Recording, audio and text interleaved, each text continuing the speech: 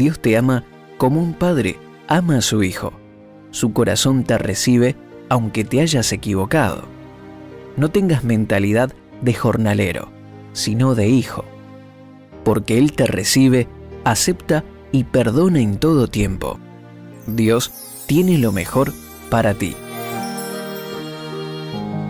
Lucas 15 del 22 al 24 dice, pero antes de que el muchacho terminara de hablar, el padre llamó a los sirvientes y les dijo, pronto, traigan la mejor ropa y vístanlo. Pónganle un anillo y también sandalias. Maten el ternero más gordo y hagamos una gran fiesta, porque mi hijo ha regresado. Es como si hubiera muerto y ha vuelto a vivir. Se había perdido y lo hemos encontrado. El hijo menor había pedido la herencia a su padre para luego derrocharla en una vida desenfrenada. Al poco tiempo estaba arrepentido y decidió volver. Le pidió a su padre que aunque sea lo deje ser como uno de sus jornaleros, pero el padre pidió la mejor ropa para que lo vistan, le puso un anillo, sandalias y sacrificó el mejor ternero para festejar su regreso.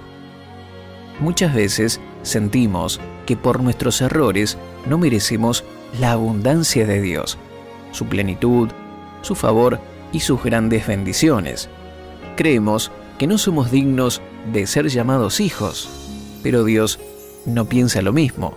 Él está dispuesto a perdonarnos de todo pecado. No importa si has fallado, tu arrepentimiento es aceptado. Somos sus hijos en toda situación y podemos pedir todo lo que necesitemos. Él tiene grandes cosas para nosotros quiere darnos lo mejor ahora y siempre. Eres hijo de Dios. Pide y te será dado. Oremos juntos.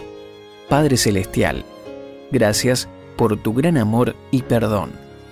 Cambia mi mente de jornalero y dame una mente de hijo. Me acerco confiadamente hacia ti, sabiendo que tienes lo mejor para mí y mi familia.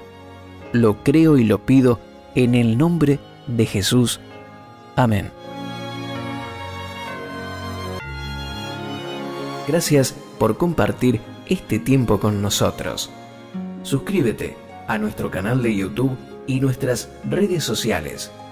Te saludamos desde avanzapormás.com. Estamos para bendecirte.